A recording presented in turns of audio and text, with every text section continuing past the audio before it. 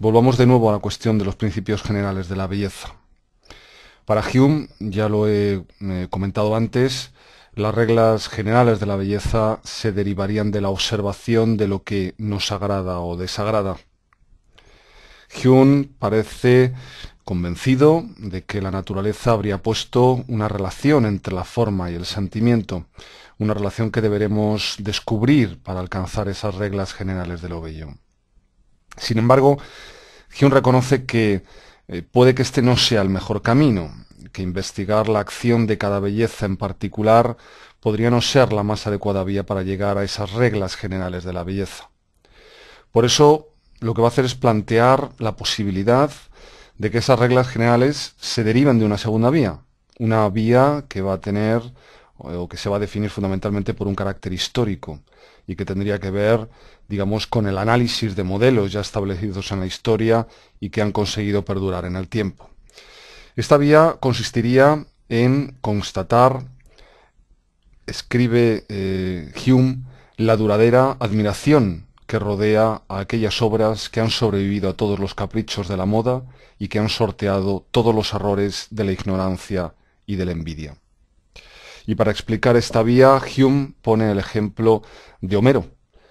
del que escribe lo siguiente. Homero dice, complació en Atenas y en Roma hace dos mil años y es todavía admirado en París y en Londres. Todos los cambios de clima, gobierno, religión y lengua han sido incapaces de oscurecer su gloria.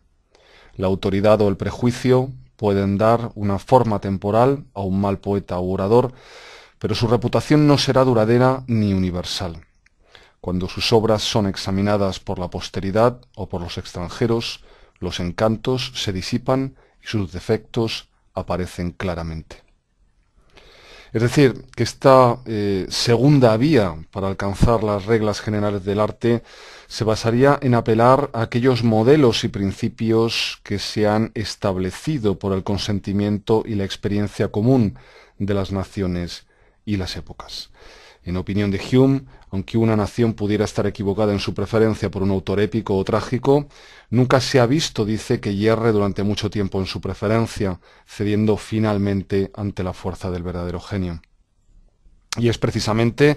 desde este enfoque histórico desde el que Hume se atreve a afirmar que la dificultad de encontrar la norma del gusto, incluso en casos particulares, no es tan grande como parece.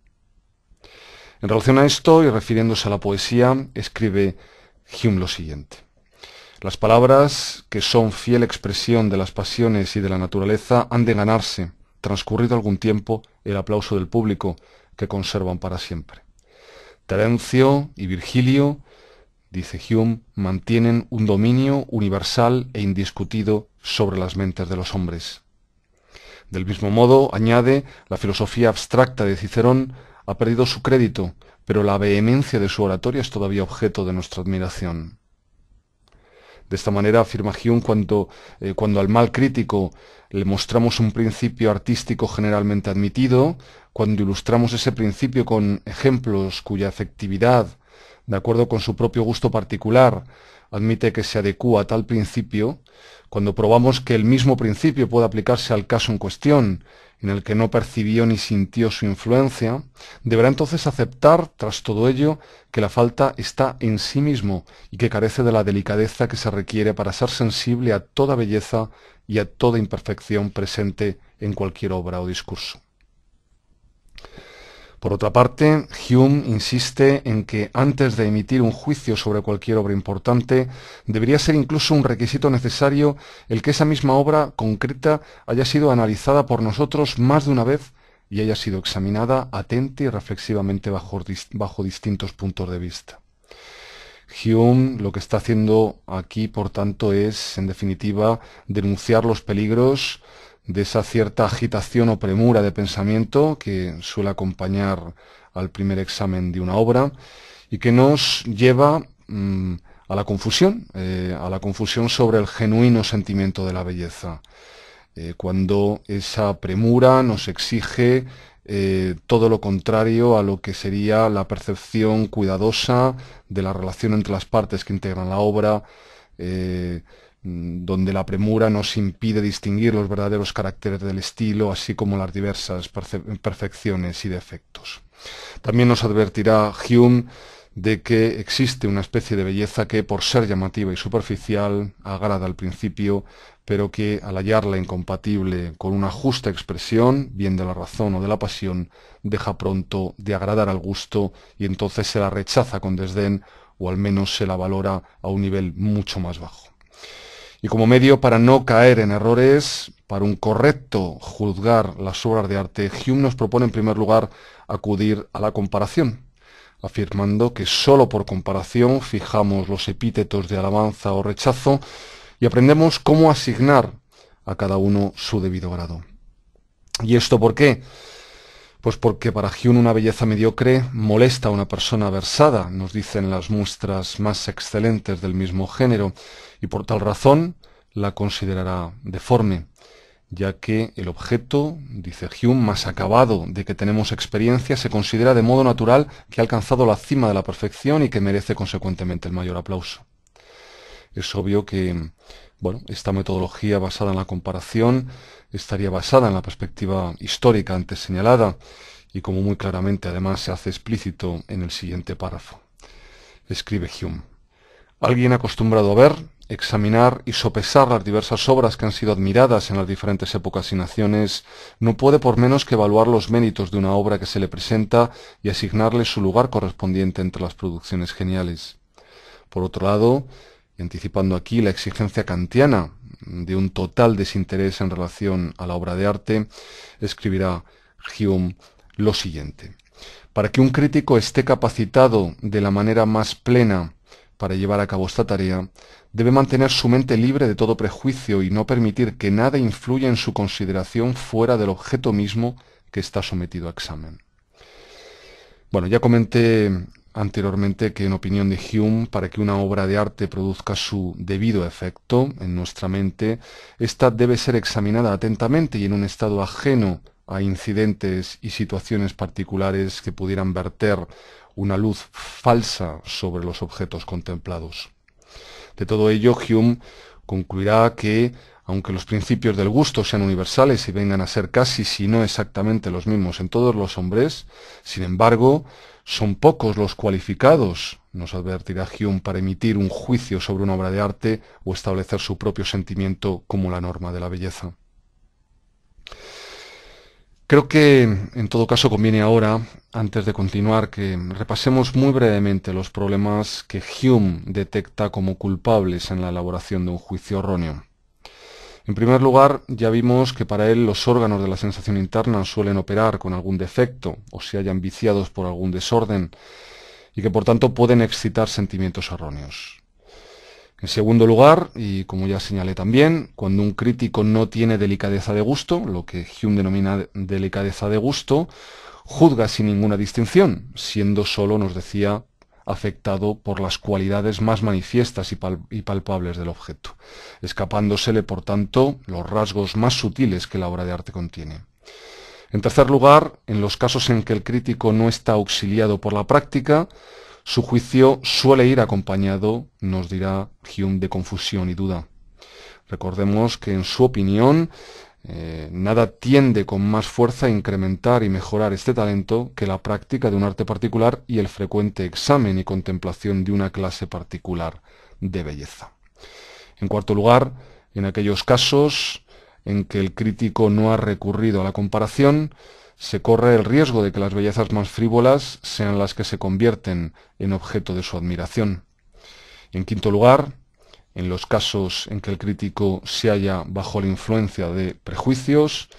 de elementos externos a lo que conforma la obra, todos sus sentimientos naturales estarán, a juicio de Hume, pervertidos.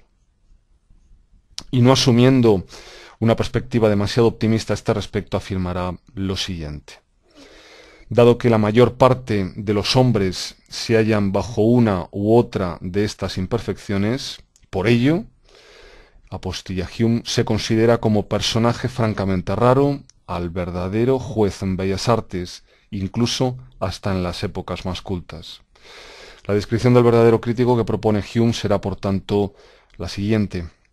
solamente pueden tenerse por tales a aquellos críticos que posean un juicio sólido, unido a un sentimiento delicado, mejorado por la práctica, perfeccionado por la comparación y libre de todo prejuicio, y el veredicto unánime, dice, de tales jueces, donde quiera que se les encuentren, es la verdadera norma del gusto y de la belleza.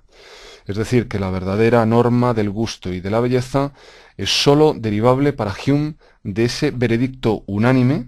de la coincidencia plena de los juicios de aquellos que cumplan estos requisitos, es decir, de aquellos críticos poseedores de un juicio sólido, de un sentimiento delicado y mejorado por la práctica, perfeccionado por la comparación y libre de todo prejuicio. Y ya casi para terminar, hay dos aspectos que creo son también especialmente importantes en el texto de Hume y, creo que, desde luego no quisiera eh, que se quedaran en el, tintero. Por un lado, Hume eh, retoma la idea de que la belleza depende en gran parte de, de la apreciación de relaciones, como se hace muy explícito en el siguiente fragmento. En todas las producciones más nobles de la genialidad humana, existe una relación mutua y una correspondencia entre sus partes y ni la belleza ni la deformidad pueden ser percibidas por aquel cuyo pensamiento no es capaz de aprender todas estas partes y compararlas entre sí, con el fin de percibir la consistencia y uniformidad del conjunto. Esta idea de que la belleza depende en gran parte de la apreciación de relaciones había sido defendida también por Diderot en el artículo Bello, escrito por Diderot en la enciclopedia e incluido en el volumen segundo publicado en enero de 1752, un artículo sobre el que también dedicaremos una eh, presentación. Por otra parte, Hume nos exige atender en el juicio de la obra a los fines o propósitos para los que ésta ha sido concebida. Leamos a este respecto lo siguiente. Toda obra de arte dice Hume, responde también a un cierto fin o propósito para el que está pensada y ha de ser, así, considerada más o menos perfecta, según su grado de adecuación para alcanzar este fin. El objeto de la elocuencia es persuadir, el de la historia instruir, el de la poesía agradar por medio de las pasiones y de la imaginación. Estos fines hay que tenerlos constantemente a nuestra vista cuando examinamos cualquier obra y debemos ser capaces de juzgar hasta qué punto los medios empleados se adaptan a sus respectivos propósitos. Por último, señala Hume dos fuentes de discrepancia acerca de las valoraciones de gusto que nos dice, aunque sin duda no son suficientes para confundir todas las fronteras de la belleza y de la deformidad, sin embargo a menudo sirven para marcar una diferencia en los grados de nuestra aprobación o rechazo. Una es eh, los diferentes temperamentos de los diversos hombres, y por ello escribe, escogemos a nuestro autor favorito de la misma manera que seleccionamos a nuestros amigos, por la similitud de temperamento y de carácter así como, añade Hume, por lo que tiene que ver con su edad, de manera que un hombre joven, cuyas pasiones son más intensas, será mucho más afectado por imágenes de amor y ternura que un hombre de edad avanzada, quien disfruta con las reflexiones prudentes y filosóficas respecto a la conducta y a la moderación de las pasiones. A los 20 años, dice Hume, Ovidio puede ser el autor favorito. Horacio podrá ser nuestro autor favorito a los 40 y posiblemente Tácito lo será a los 50. En tales casos sería vano, eh, añade Hume, esforzarnos por penetrar en los sentimientos de los demás y desviarnos de aquellas tendencias que son naturales en nosotros. Como segunda fuente de discrepancia acerca de las valoraciones de gusto, que, insisto eh, en ello, para Hume no son en cualquier caso suficientes para confundir todas las fronteras de la belleza y de la deformidad, pero mm, eh, que sí que pueden, desde luego, marcar una diferencia en los grados de nuestra aprobación o rechazo, sellarían los hábitos y opiniones particulares de cada, de cada época y de cada país. Así, leemos lo siguiente. Nos agradan más, en el curso de nuestra lectura, las escenas y personajes que nos recuerdan los que encontramos en nuestra propia época y país frente a aquellos que describen un conjunto diferente de costumbres. Y continúa eh, Hume. No nos resulta fácil adaptarnos a la simplicidad de los antiguos cuando se nos describen princesas trayendo agua del arroyo y reyes o héroes aderezándose ellos mismos sus propias vituallas. Podemos admitir en general que la representación de tales hábitos no es una falta del autor ni un defecto de la obra, pero no nos conmueven de un modo tan sensible. Esta es la razón, termina Hume, por la que la comedia no es transferible de una época o nación a otra. De manera nos dice que a un francés o a un inglés no, eh, no les agrada o no les podría agradar la Andria de Terencio o la Clicia de Maquiavelo, ya que la noble, eh, la noble eh, dama, dice Hume, de la que trata la obra, nunca aparece en escena, sino que se mantiene siempre oculta, cosa apropiada, dice Hume, para el humor reservado de los antiguos griegos y de los modernos italianos. Un hombre culto y reflexivo, dice, puede eh, aceptar estas peculiaridades y usos, pero un auditorio popular nunca puede desviarse tanto de sus ideas y sentimientos usuales como para que le agraden escenas que no tienen nada en común con ellos. Bueno, estas eh, consideraciones en torno a las fuentes de discrepancia acerca de las valoraciones del juicio de gusto eh, en una dimensión psicológica y en otra dimensión histórico-geográfica Cree Hume que eh, quizá podrían ser realmente útiles al examinar las viejas ya controversias acerca de lo antiguo y de lo moderno. Hume se está refiriendo aquí eh, al llamado debate de los antiguos y los modernos, también conocido como la querella de los antiguos y los modernos, una serie de diatribas que fueron catalizadas a finales del siglo XVII, sobre todo con la publicación en 1688 de la obra que vemos en la imagen, de la obra de Charles Perrault, comparación entre antiguos y modernos. Un debate que además muy pronto pasó también en Inglaterra. El grupo de los antiguos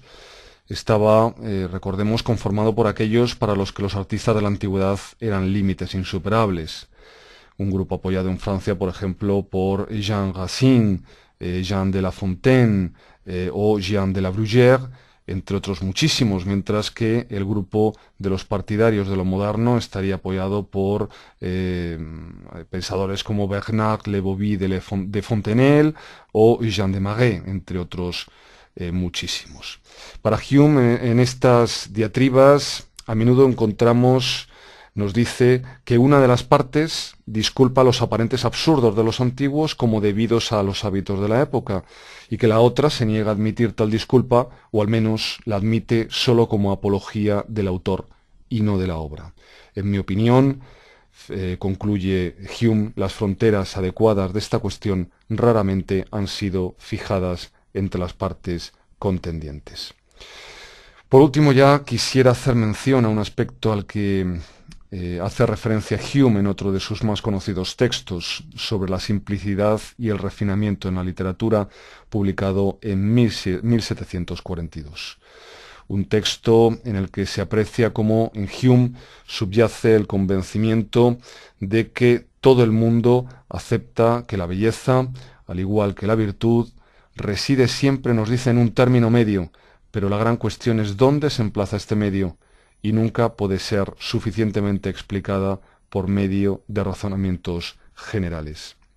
Un texto en el que Hume reconoce que en crítica literaria no hay tema más debatido que el de la adecuada proporción de simplicidad y de refinamiento en la literatura. Hume ciertamente siempre consideró que había que estar más prevenidos contra el exceso de refinamiento que contra el de simplicidad pues el exceso en el refinamiento es a la vez, decía él, menos bello y más peligroso que el exceso en la simplicidad. Una búsqueda del término medio que hizo eh, que Hume admirara eh, mucho, de hecho, a Virgilio y también a Racine, autores que en su opinión eran los más, eh, digamos, centrados o los más cercanos al centro y también los más alejados de los extremos. Ciertamente, Hume fue un convencido de las cualidades de la simplicidad, como deja patente en la siguiente afirmación, con la que ya termino esta presentación. Escribe Hume, las obras que leemos con más frecuencia y que todo hombre de buen gusto conoce de memoria, poseen el atractivo de la simplicidad.